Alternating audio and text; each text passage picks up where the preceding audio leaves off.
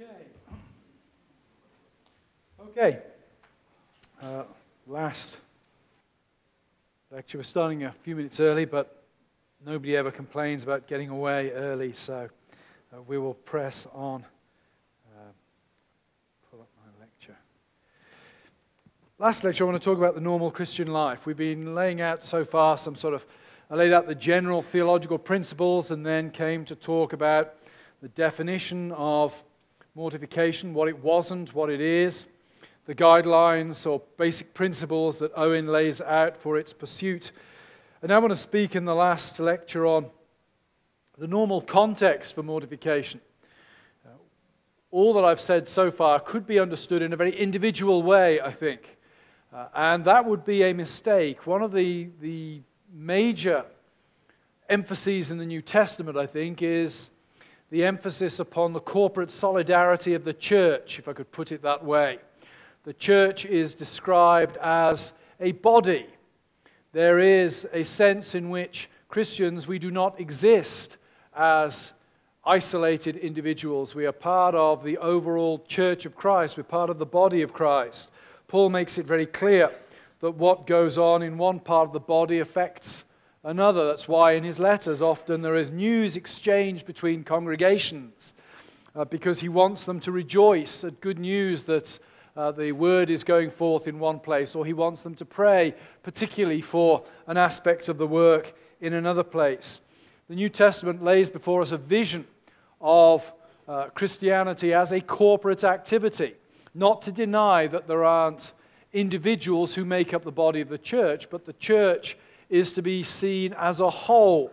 Paul even uses analogies to the human body when he talks about eyes and ears and hands and feet.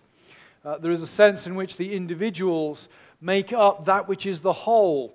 The church finds its perfection and completion, if you like, through the variety of individuals who make it up. And that brings me to uh, really the final point today, and that is that mortification is something best understood in a corporate context.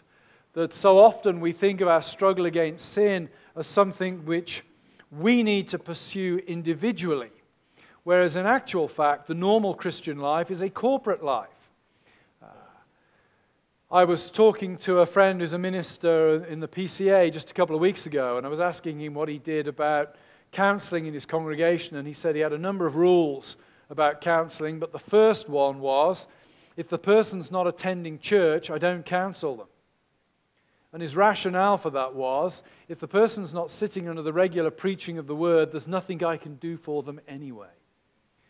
That the first and foremost context for the Christian life is the gathered worship of the church under the sound of God's word. Uh, why would that be the case? Well, I think as, uh, as Protestants, we understand that the Word of God is the place where God's presence is mediated. If you're a Roman Catholic, or if you were to go to a medieval Roman Catholic church uh, in Europe, you walk through the doors, your eyes would be drawn immediately to the altar at the far end because that's where the Mass takes place. The Mass is the crowning moment of the service in Roman Catholicism because it is in the Mass that Christ comes down and is present with his people in the elements of the bread and the wine, or the transubstantiation of the bread and the wine into the body and blood of Christ. In Protestantism, the pulpit is central and higher. This is a good example, in fact. Pulpit's at the center of activities and is slightly higher than the floor below. There's nothing magical in that position. The Bible doesn't say you have to put your pulpit there, but it is a reflection of a Protestant understanding of the importance of the preached word. The most important thing that happens in a Protestant church uh, on a Sunday is the preaching of the word. Why is that? Because the word is the means by which God's special saving presence is mediated. We know from the Old Testament that the word of God is more than just uh, God describing the way things are in creation. God doesn't describe the light. He says, Let there be light, and then light comes into being. Uh, we know in the Old Testament that God's presence, God's special presence with his people, is often articulated in terms of his speech. He speaks to Abraham. Uh, the Shunammite, uh, when her son dies, she goes and almost drags the prophet Elisha back to uh, her house where the child lies dead. The staff in the hands of the servant won't do the trick. Well, God is powerful. He could have raised the child using the, the prophet's staff, but he chooses not to do so. Why? Because the prophet's speech is the way that God is savingly present. And of course, in Amos, we're told that the most terrible famine that is to come against the land is the famine of the Word of God.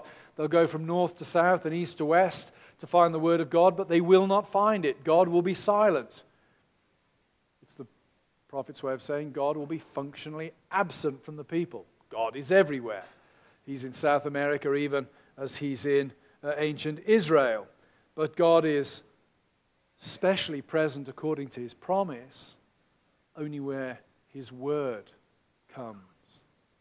And then in the New Testament, we see the, the arrival of God's word. The heavens are torn open. In the Gospel of Mark, we're told the heavens are torn open uh, at Christ's baptism. There was an old Jewish gloss on a passage in Isaiah that said God would be absent and silent until the heavens were torn open. And then in Mark chapter 1, the heavens are torn open. And what happens straight away?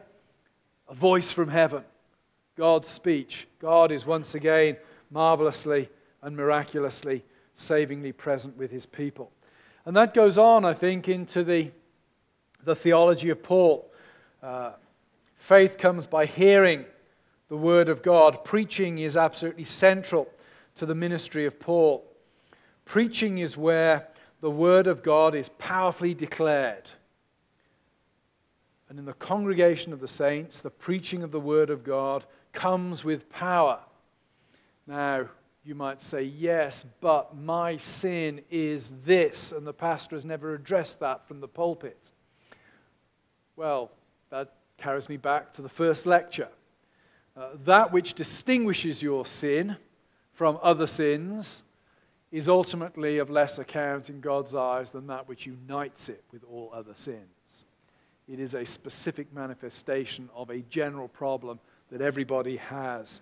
If your pastor is preaching and proclaiming the gospel, then that will address uh, the issue of particular sins. And how does preaching do that? Well, first of all, I think preaching is a reminder of our identity. Uh, preaching is, you know, what does preaching do? Preaching preaches the two ages of Adam and Christ, if you like.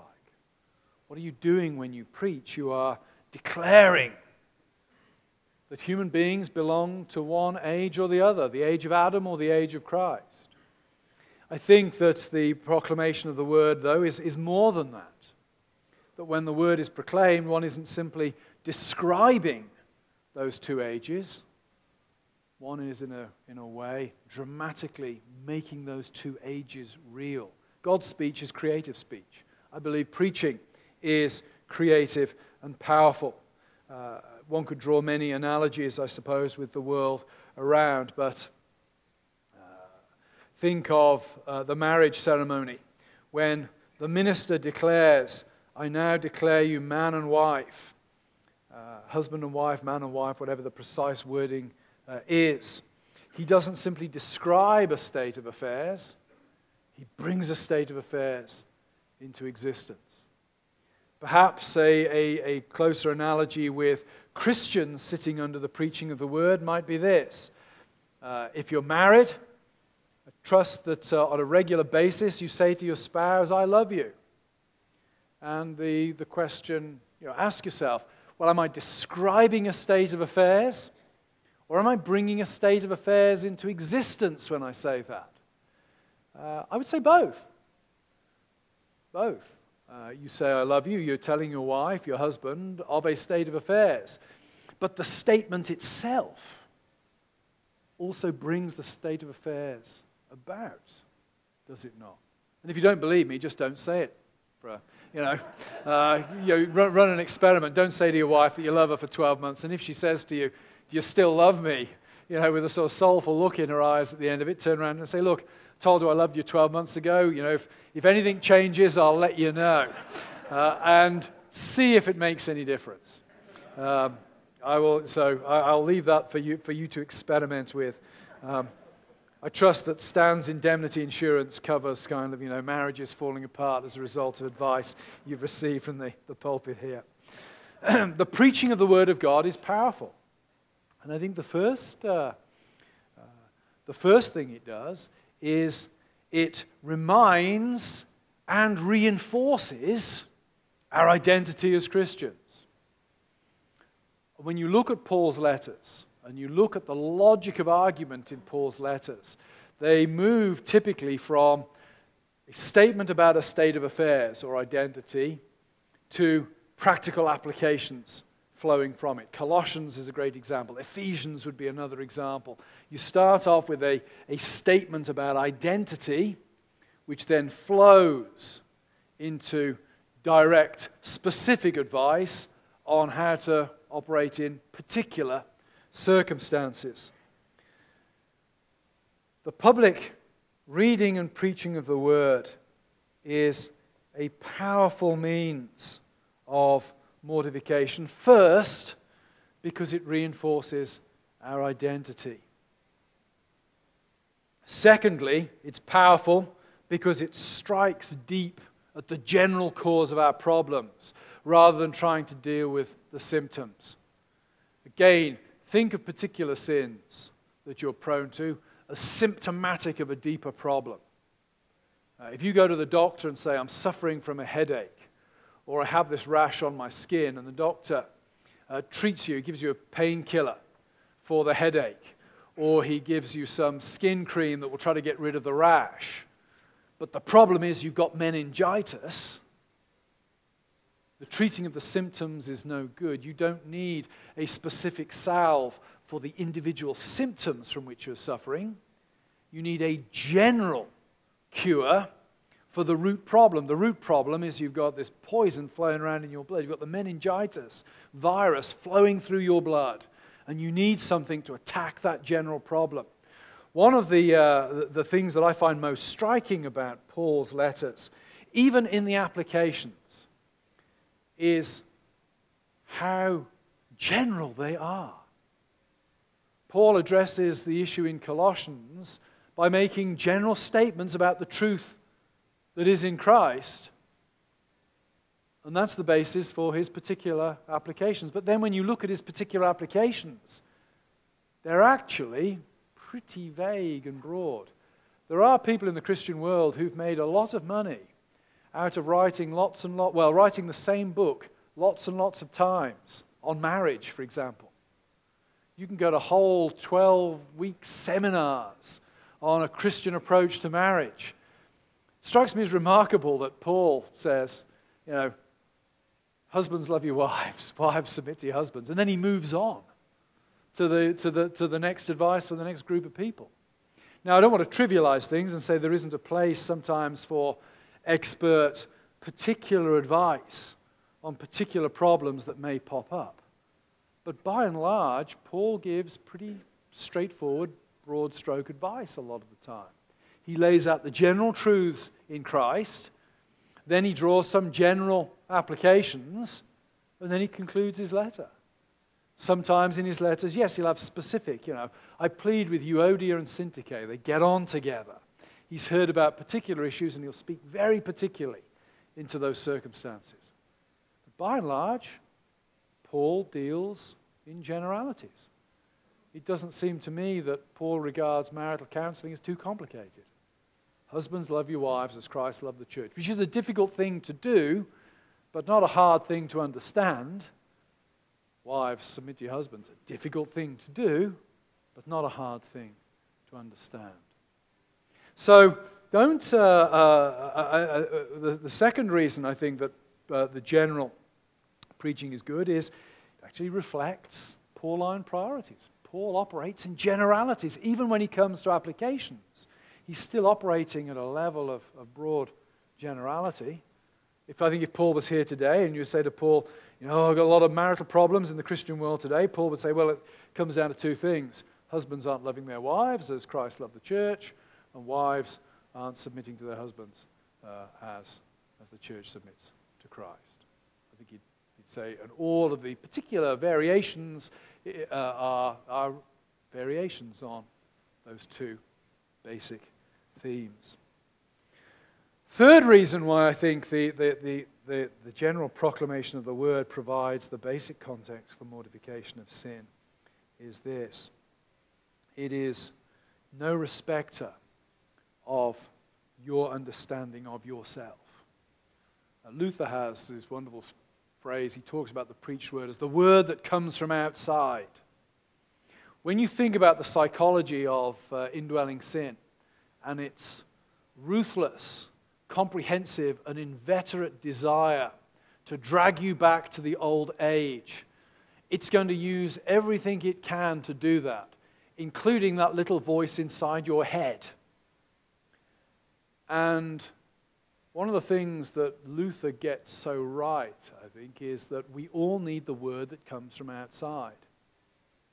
And even our reading of the Bible as individuals can be twisted by our inner sinful dispositions. Well, that bit of scripture doesn't really apply to me, or, you know, you, we rush over certain passages because we don't really want to dwell on their implications for our lives.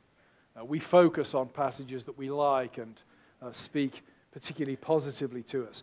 Great thing about sitting under the regular expository preaching of the word is you have no choice essentially what you listen to. It's a word coming to you from outside.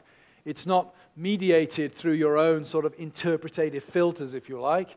It's being declared to you from outside, taken by the Holy Spirit and applied to your heart.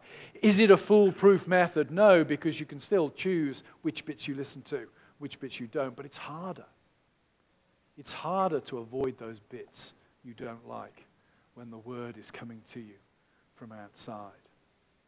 The word comes from outside and it forces you to confront those aspects of your life that you wish to avoid. It's interesting, I can deal with one of the questions I've received now.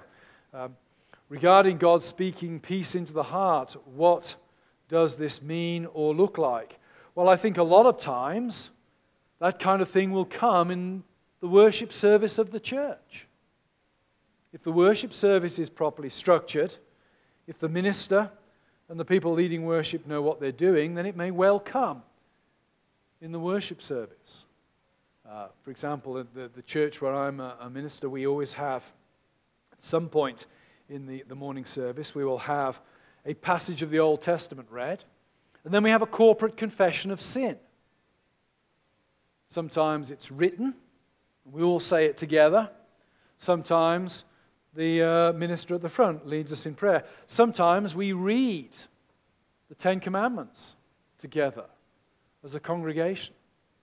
And then after that is done, the minister, whoever's leading worship, will read a passage of Scripture that speaks the gospel. It talks about, about God putting our sins as far as the east is from the west.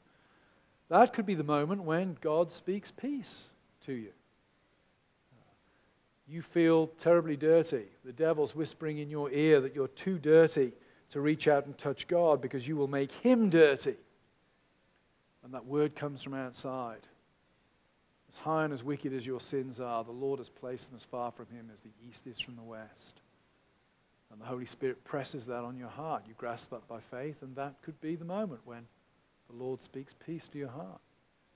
On the other hand, maybe you've been speaking peace to yourself all week my sins aren't that bad. And then you're sitting there in the congregation and you have to read the Ten Commandments with everybody else. And the Holy Spirit may take those Ten Commandments and use them to rip your heart right open. And maybe when that word of peace comes at the end, maybe it doesn't speak peace to you. Maybe there's work yet to be done in your heart. But I would say, in answer to that question, when God, regarding God speaking peace to us, what does this mean or look like? I would say, I'm thinking probably nine times out of ten, it means that you grasp the word that is spoken to you on a Sunday by faith. Why else is corporate preaching important? Because the most effective preacher Well, the most effective preachers, well, the, the preachers who have you most of the week are not preaching the new age to you, they're preaching the old age. You're watching the television, you're chatting to friends at work, even that voice inside your head. All of these voices have a vested interest in convincing you that you belong to the old age. Corporate preaching of the word reminds you no, you're a member of the new age. The old age is passing away. Set your minds on things above. So, the first uh, area I would argue for looking for help in mortification is the preaching of the word, the corporate preaching of the word on a Sunday. Secondly, I would, uh, I would suggest another area of uh, worship, uh, of, of the corporate context for mortification, is worship songs, hymns. If you look at uh, Colossians,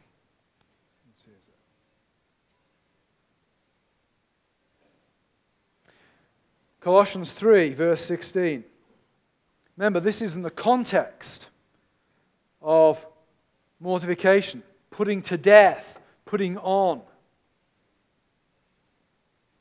And in the context of that, Paul says this Let the peace of Christ rule in your hearts, uh, to which indeed you were called in one body, and be thankful. Let the word of Christ dwell in you richly, teaching and admonishing one another in all wisdom, singing ha- psalms and hymns and spiritual songs with thankfulness in your hearts to God. Worship, singing psalms, hymns, and spiritual songs is going to be an important part of what Paul is talking about here, is putting to death the old age and putting on the clothes of the new age. And that's a reminder, I think, for something we often neglect when we think about worship. Uh, sometimes some people get too wrapped up in is worship what makes me feel good here and now. I think that drives a lot, not just of contemporary worship, but some, I think, uh, advocates of traditional worship want to sing traditional things because it's comforting, it's what they've always sung. Uh, sometimes we focus uh, appropriately on the vertical dimension of worship. We need to make sure that that which we sing is appropriate as a kind of offering to God.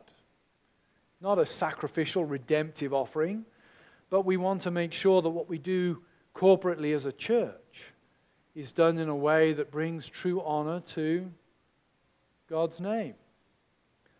A neglected aspect, I think, of worship is this horizontal aspect that Paul lays out here. Part of uh, being refueled on a Sunday for the Christian life, Monday to Saturday, is what we sing.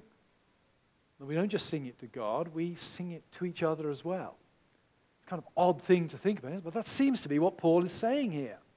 That what we sing, the psalms, hymns, and spiritual songs, has a horizontal aspect to it as well.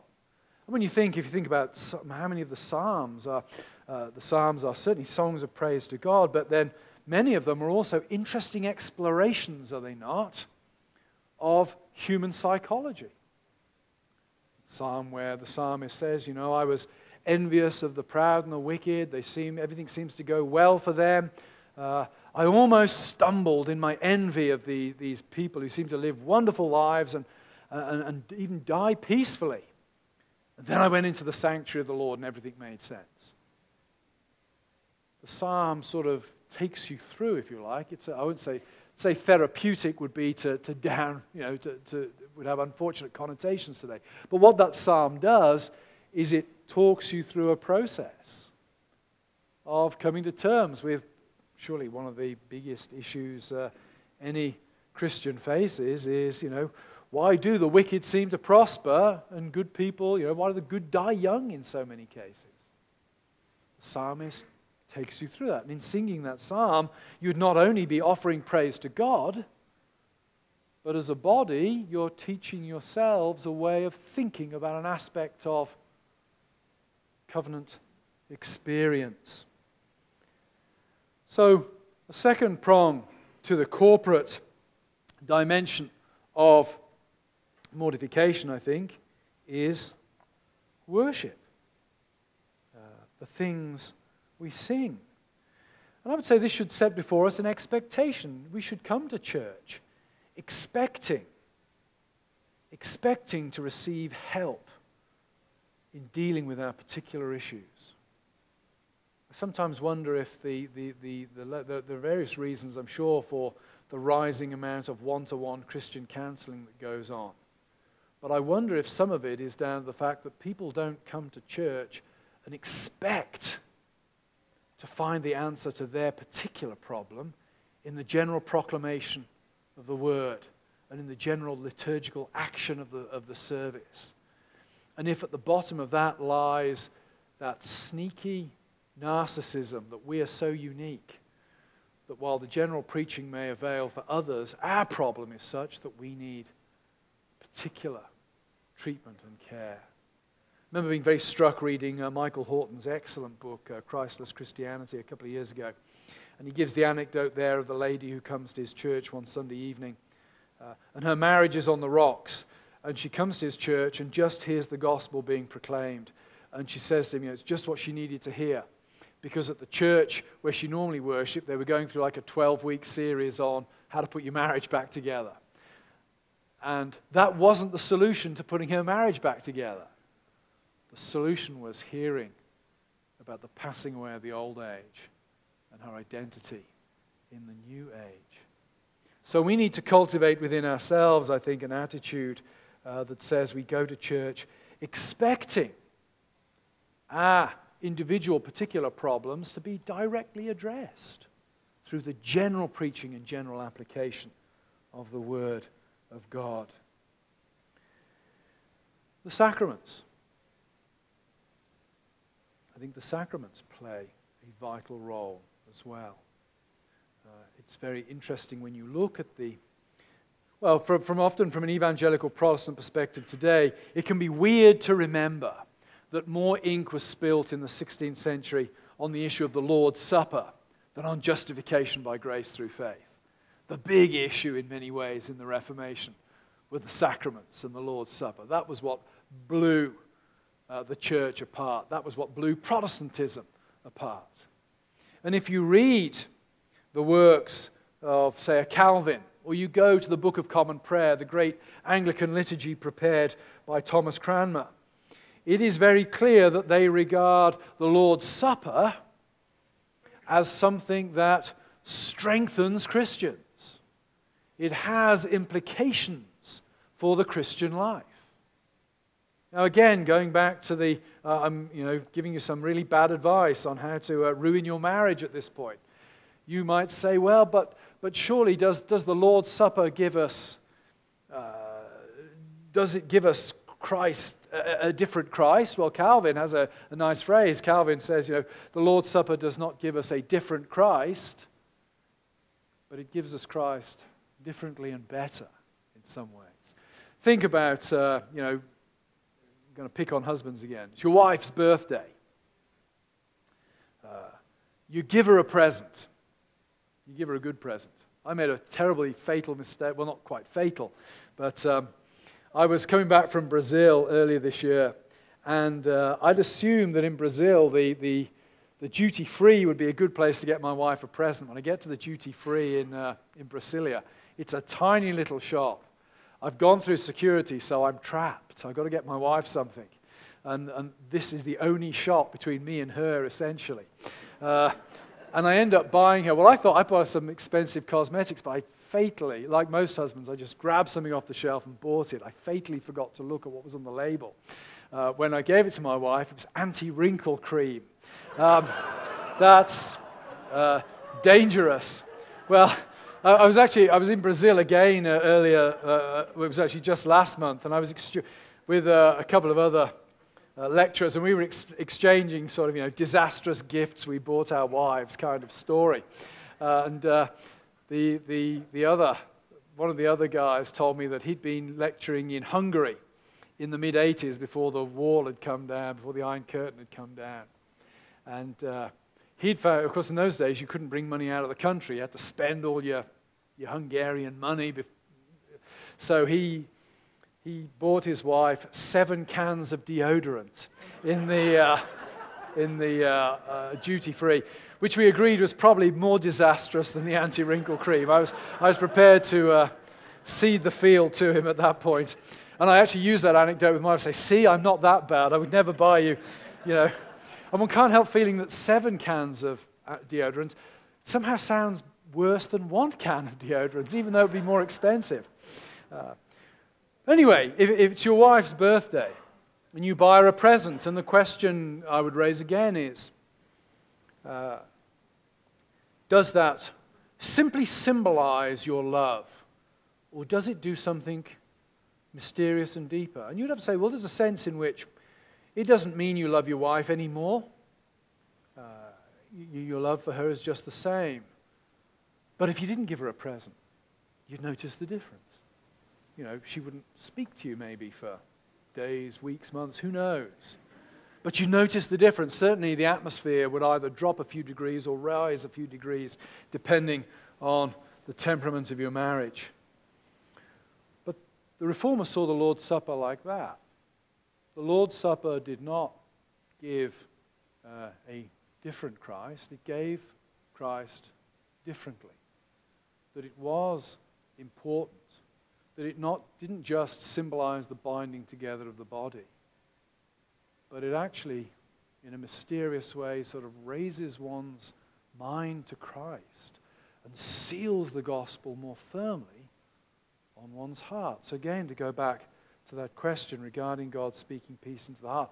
Maybe it could come at the Lord's Supper sometimes. And uh, I also, as I, I, alluded earlier on, I think the Lord's Supper, uh, a church which teaches a rich doctrine of the Lord's Supper, has a most powerful discipline and discipling tool at its disposal. I gave one example of the young man who'd come to me and said, you know, that he no longer felt repentant no longer desired deliverance from his sin. And it was interesting that the withholding of the Lord's Supper from him that morning brought him to his senses. It's a great example of the use of the sacraments to bring home to somebody the seriousness of their situation. I was told uh, recently about another pastor in my own denomination, the OPC, who found that his own, uh, the amount of time that he had to spend counseling married couples dropped dramatically when he introduced a weekly Lord's Supper. Think about that. Why would that be? Because every Sunday, people's minds were focused on being reconciled with their Christian brothers and sisters, you know. Don't come to the Lord's Supper if there's something, if you've got something in your heart against somebody else, go and sort that out first before you come to the Lord's Supper. Very interesting. The introduction of weekly Lord's Supper here helped focus individuals' minds on issues in their lives and push them along that path of mortification that, Paul, uh, uh, that uh, Owen points towards. So, the public reading and teaching of God's words, the sacraments, and then, of course, thirdly, the Westminster uh, Confession. I, I, think this is not the case in the three forms of unity as Cornerstone uh, subscribe here, but in the Westminster Standards, the means of grace are three not just word and sacrament, but also prayer. And I've often wondered about uh, the prayer as, a mean, prayer as a means of grace, because we tend to think of means of grace as that which God does for us. The word comes from God to us. Baptism and the Lord's Supper, God is the agent in baptism, He's the agent in the Lord's Supper. It's not something we do. And the minister uh, uh, officiates at the Lord's Supper, he specifically speaks about ministering in Christ's name. He doesn't act by his own authority at that point, he acts on behalf of God, who is the supreme agent in the Lord's Supper or in baptism. Prayer. Prayer has always puzzled me as to why is prayer a means of grace? Well, I think two great reasons. Uh, one, well, actually, no, I, I, I, yes, uh, it, it's two reasons, but the second one I'll divide uh, into, into two. First of all, prayer is a means of grace because the supreme prayer is God. Why is prayer powerful on our behalf? Because ultimately, the one, the one who really prays for us is God Himself, the Lord Jesus Christ. His prayer before God the Father is the means of God the Father granting the Lord Jesus Christ that which He desires. It brings, if you like, the work of Christ to its completion. And the wonderful thing about the intercession of Christ at the right hand of the Father is, of course, that Christ is truly God. And therefore, Christ asks for nothing from the Father which the Father does not wish to grant him. Uh, we can have very wrong views, I think, about the intercession of Christ at the right hand of the Father. We can have this view of Christ's work that somehow God the Father is the, you know, is the angry one of the three. But, you know, at some point, the son is able to persuade him, you know, Father, let me go down and, and act on behalf. Okay, okay, son, go down and, and act on behalf of them. And then the son returns to heaven, and he then, you know, his father is sitting there. He still doesn't want to, you know, save a people himself.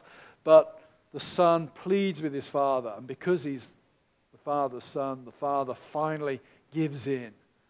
As the way, you know, if your son or daughter come and beg you, uh, to let them you know, have their friends round for a sleepover at some point, and slowly but surely your heart is softened until finally, know, against your better judgment or whatever, you allow it to happen. That can be how we think of the intercession of Christ in heaven. That's not what the Bible teaches about the intercession of Christ in heaven. We tend to think of intercession as a slightly adversarial thing. That is not the case in heaven. Father and Son are one God. They will and desire the same things. And therefore, when the Son asks for something, the Father will grant it to him because the Father wants the same thing. It has been appointed in the scheme of things that the Son's intercession will be the means by which the Father grants the Son that which he desires. But the Son's intercession is guaranteed in terms of its success. So, prayer, when we're thinking about mortification, what is, when we think about prayer, what is the first thing we need to think about? And that is the Son's desire for us. The Son is praying and interceding on our behalf. Not only do we have this identity in Christ, but we have an advocate with the Father who pleads on our behalf to the Father and whose prayer is guaranteed because he is God, as the Father is God. Secondly, I think corporate prayer can be a help to us as well corporate prayer of confession, being led in prayer. One of the things that seminaries do, well, I wouldn't say we do it badly. I don't think we do it at all. We certainly don't do it at Westminster uh, East. I can't uh, say with certainty they don't do it elsewhere, but we don't teach people how to lead in prayer at my seminary. And that's outrageous. Uh, I think we live in an era where we become so used to the, the uh, the idea that if you do something in public that's different from what you do in private, it's somehow not authentic. Um, well, I said to a student this week, you know, I sing in the shower. But man, you don't want me singing in church the way I sing in the shower. Uh, that would be absolutely terrible. You want me singing much more quietly because I have a terrible voice apart from anything else. Public prayer, I think, fulfills a useful function. People come to church sometimes and they don't know what words pray. They don't know how to approach God. Some of them are so crushed by their sin they don't lift their eyes heavenward. leading those people into the presence of God by prayer can be a means of grace to them, I think. I thank God that I uh, spent some years in the Free Church of Scotland where all men were expected to be able to lead the congregation in prayer. You became a member of the church, you were expected at the prayer meeting to be able to lead the congregation in prayer. Ter- Free church prayer meetings were terrifying. Sorry, ladies, they only ever called on the men, but the women were quite glad they weren't called on because it was such an ordeal. Uh, but you'd get called on to pray, and you're expected to lead the congregation in prayer into the presence of God. And boy, you learn quick how to lead in prayer. Going to church to be led into an appropriate uh, to be taught an appropriate approach into the presence of God, I think is, is very, very important. It's a means of grace. And then the second aspect of that is uh, personal prayer.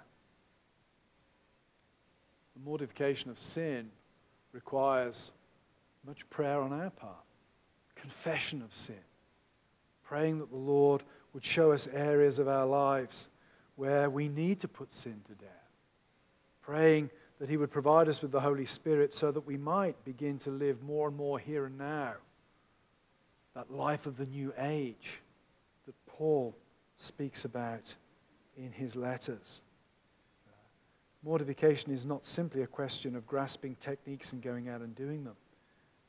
It involves calling out to God for help in identifying our sins, in being sensitive to when those sins are getting a hold on us, having consciences that are sensitive to the bad things that can happen to us.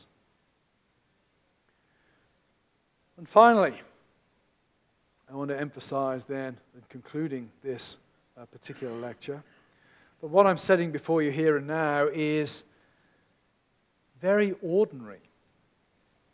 What is mortification of spirit, Uh, mortification of spin, that's my podcast, not what I'm talking about today. What is mortification? Mortification of spin doesn't mean anything at all. What is mortification of sin? What does it not mean? Well, we've, we've seen some things it means, but I would add the final one of this it doesn't mean anything spectacular. It doesn't mean anything spectacular. There is no silver bullet uh, in this. There is no wait for the second blessing that will suddenly lift you far above uh, the plane of, of sanctification where you currently exist. Call it the normal Christian life. We might say the ordinary Christian life. There is a real glut of books on the market at the moment that use the term radical in them or some version of that. We're all into radical Christianity now. I want to suggest to you that the mortification of sin is really rather boring. And it comes down to a couple of things. It involves knowing yourself and your weaknesses, it involves knowing the Lord, who He is, and what He's done. And it involves regular attendance at church, sitting under the sound of the Word, and listening and praying that the Holy Spirit will apply that Word to your life to enable you to walk worthy Monday to Saturday. It's very boring. That's what it is. But that, I think, is the vision of the Christian life that the New Testament lays out before you. And with this, I'll close. What are elders? Well, among other things, I think what elders are is elders are meant to embody in their lives that to which Christians should aspire. Elders are to be examples. It's one of the reasons why I think the eldership is to be guarded quite carefully because people look to the elders to see what the church is like. It's why you know, the Catholic sex abuse scandal has been so disastrous for the Catholic Church because it's priests doing it. If it was ordinary members of the Catholic Church doing it, it wouldn't have been so traumatic. But the fact that it's priests, people think the priests symbolize in a certain way the ideal aspirations of the church. Elders are to represent the ideal aspirations of the church. Turn with me to 1 Timothy chapter 3. Paul starts off the chapter by saying this saying is trustworthy, almost certainly indicating that this is a standard way of referring to this topic that's already circulating in the church. Uh, this saying is trustworthy. If anyone aspires to the office of overseer who desires a noble task, the eldership is noble. Therefore, Paul goes on, an overseer must be above reproach the husband of one wife, sober minded, self controlled, respectable, hospitable, able to teach, not a drunkard, not violent, but gentle, not quarrelsome, not a lover of money. He must manage his own household well with all dignity, keeping his children submissive. For if someone does not know how to manage his own household, how will he care for God's church? He must not be a recent convert, or he may become puffed up with conceit and fall into the condemnation of the devil. He must be well thought of by outsiders so that he may not fall into disgrace. What's Paul describing there? Very boring people. if that person's living next to you, you'll think well of him, but you'll hardly notice him. You won't hear him screaming and shouting at his kids because he manages his household well. Uh, you won't hear him fighting with his wife because he's the husband of one wife. And whatever else, the two, they're devoted to each other. He's a peaceable guy. He doesn't go out and pick fights in the neighborhood. You never hear him coming home at 3 o'clock in the morning drunk and you know, singing Danny Boy and throwing bricks through people's windows. He doesn't do that kind of stuff. He's in bed by 11 o'clock at night. Paul there lays out the, the qualifications for the kind of people that he wants to run the church because they epitomize that for which all Christians, that to which all Christians should aspire. And it's remarkably boring. There's nothing radical there. This is an ordinary guy in your neighborhood that you wouldn't even notice other than to have good thoughts of him. And that is my final comment today, and that is mortification of sin is a important function of the broader Christian life. And what is the broader Christian life? It's pretty boring and nondescript, really. And the ways and means of approaching the subject are pretty boring and nondescript. Thanks very much.